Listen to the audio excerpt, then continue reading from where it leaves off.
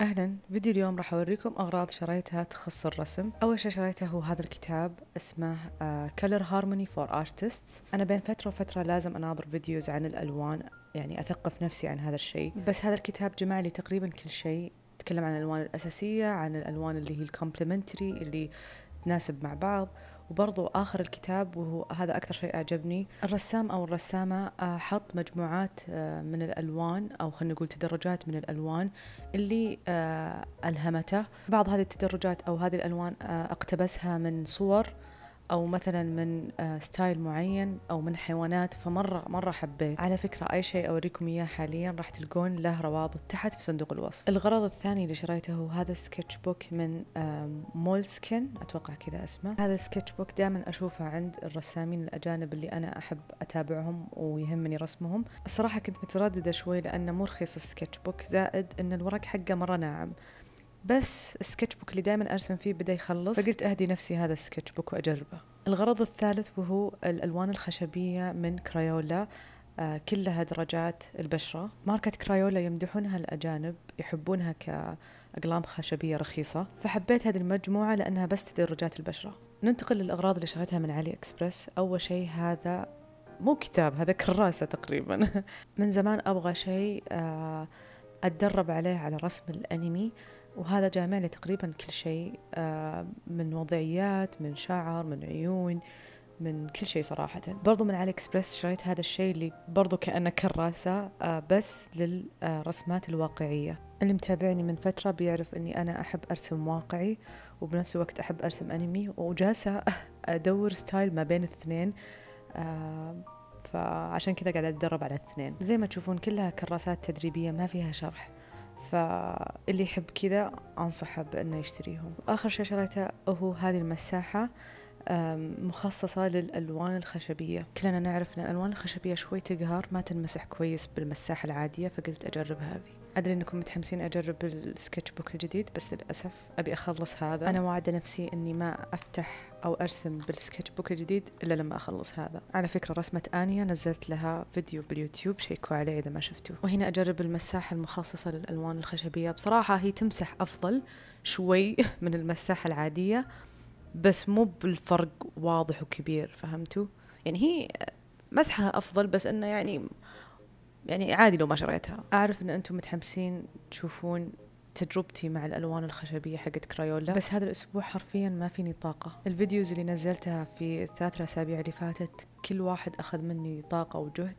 فهذا الأسبوع شوي أحس ما عاد فيني طاقة وكنت شوي ما راح أنزل فيديو. بس أتذكر كلامكم وتشجيعكم وبعضكم يتحمس ويسألني متى راح أنزل فيديو فقلت خلاص راح أرسم شيء بسيط خفيف لطيف زي هذه السكتشات اللي بين فترة وفترة أسويها عشان أطور أسلوبي وأتدرب. قلت يمكن في أحد منكم يحب هذه النوعية من الرسم اللي هي فقط سكتشات مو بلازم تكون رسمة كاملة. بس على فكرة سكتشات آه، رسمتها بالأقلام الخشبية حقت كرايولا درجات البشرة.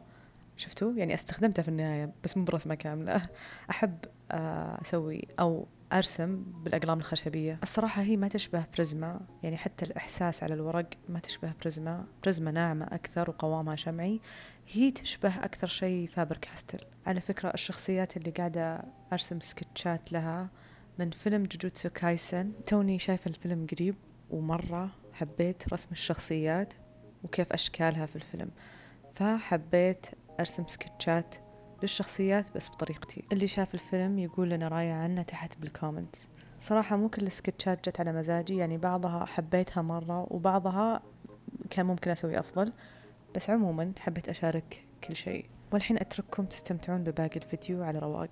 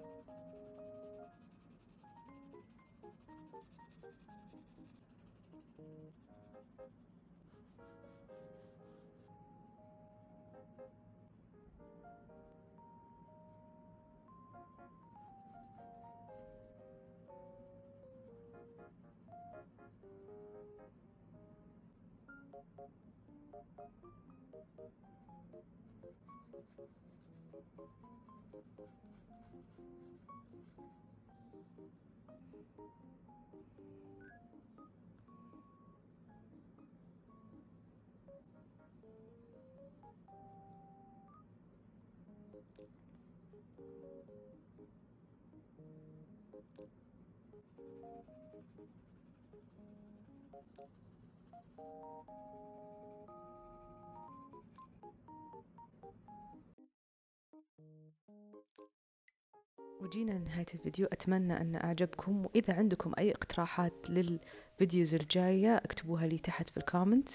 ولا تنسون تسووا لي subscribe و like و comment و share وبرضه سووا لي follow في إنستغرام وتيك توك.